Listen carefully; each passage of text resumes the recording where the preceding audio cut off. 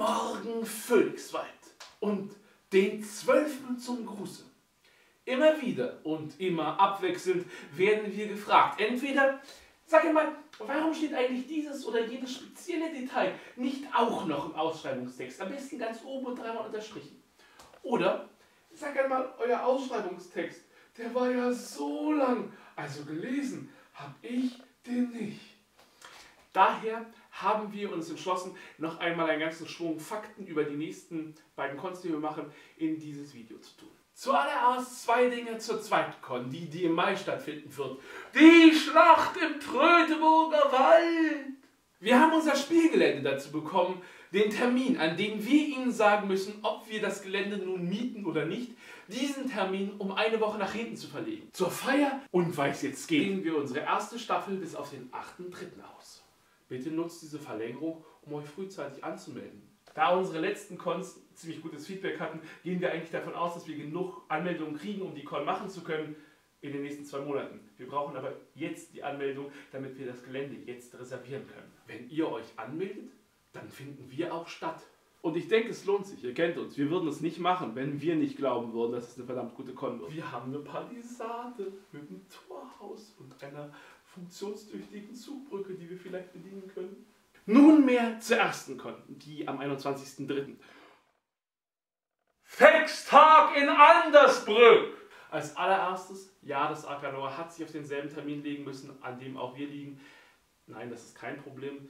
Wir werden einfach den Abend gemütlich ausklingen lassen und irgendwann tingelt ihr gemeinsam rüber und wir räumen ein bisschen auf und kommen euch danach. Wir versuchen auch gerade den Transport der NSC-Marktstände und so weiter zu organisieren. Jetzt zu den spielerischen Einzelheiten des 21.03. Es ist ein Markttag, ein Tag des Fex und im Gedenken an unseren gefallenen Phönixkönig haben wir auch das Salomon Levers Gedenkturnier eingerufen. Es wird jede Menge Wettbewerbe geben. Zunächst einmal geht es um den Diebeswettbewerb. Alles, was mit rosa Band markiert ist oder in einem Korb liegt, der mit rosa Band markiert ist, darf gediebt werden. Wir werden NSC haben, die diebbare Gegenstände an sich tragen. Wir werden dieses rosa Band auch vor Ort haben für den Fall, dass Spieler sich irgendwie markieren wollen, um den Dieben eine Chance zu geben, ihnen Zeug zu mopsen. Selbstverständlich wird die ganze Beute am Ende des Tages zurückgegeben. Falls sich ein Dieb erwischen lässt, so wird dies an diesem ganz besonderen Tage nicht besonders schlimm bestraft. Der erwischte Dieb wird dann ganz einfach als Demonstrationsobjekt für den Heilerwettbewerb verwendet. Womit wir beim Heilerwettbewerb sind. Heiler, Quacksalber, Zahnreißer haben etwas, was sie zeigen wollen. Einen Zahn ziehen zum Beispiel. Oder wie man einen Beinbruch schiebt. Ein, ist ein richtig schönes Stück Show. Ungefähr fünf Minuten lang, vielleicht gar im Sinne einer Lektion. Der Heiler hat dann hoffentlich ein Opfer dabei, an dem er herumdoktoren kann. Da könnt ihr vorher ein bisschen üben und Spezialeffekte platzieren. Oder ihr nehmt euch einen erwischten Dieb. Der wird dann für euch verwundet und kann dann von euch geheilt werden. Wunde natürlich entsprechend der begangenen Tat.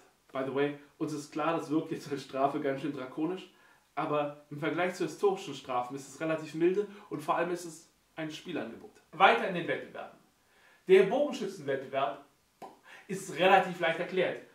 Bogenschütze, Bogen, Pfeil, Laubpfeil, Ziel. Wer die kleinsten und schwierigsten Ziele am meisten trifft, gewinnt. Und vielleicht geben die Bogenschützen, die sich dabei gut geschlagen haben, auch gleich die Ehre, uns beim nächsten Wettbewerb zu helfen, indem sie sich voll mit gefällig flinken Händen darum bemüht, von einem Schildträger geschützt und von Bogenschützen beschossen, Aufgaben der Geschicklichkeit auf Zeit zu lösen.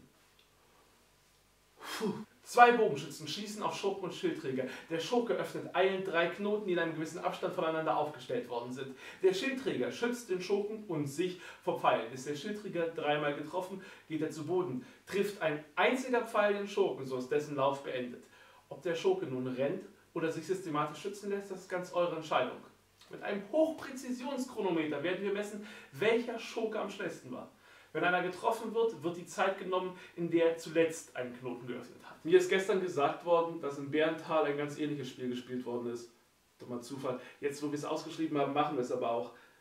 Vielleicht als IT-Erklärung handelt es sich dabei um eine regionale Variante eines überregionalen Sports. Immerhin liegen Bärental und Phoenixwald relativ eng aneinander. Zu guter Letzt das Bohort 5 gegen 5. Das Bohort 5 gegen 5. Waffen und Strategien sind ganz euch überlassen. Rondra wird uns in dieser speziellen Abart des Ohurts auch Magie und Fernkampf gestattet. Wir werden in diesem Bohort nicht nach dem Rüstwert gehen, den ihr euch normalerweise gebt, sondern werden es folgendermaßen handhaben.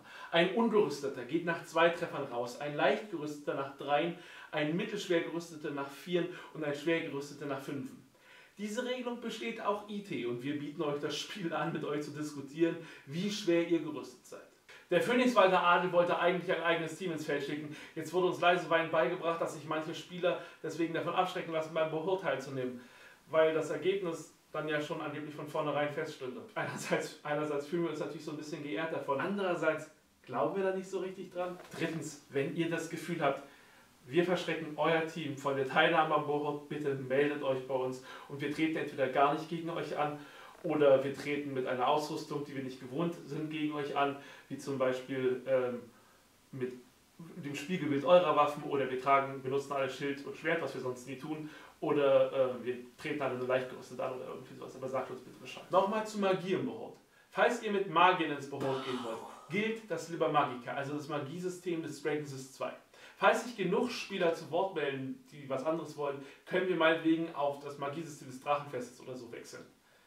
Das bedeutet natürlich, dass wir von eventuellen Behort-Magiern und eventuellen Kriegern mit Magieimmunität die Bögen recht genau sehen wollen und dennoch, gerade drum, besonders hübsche Spieler warten. Für alle Wettbewerbe gilt, bitte meldet euch vorher dafür an.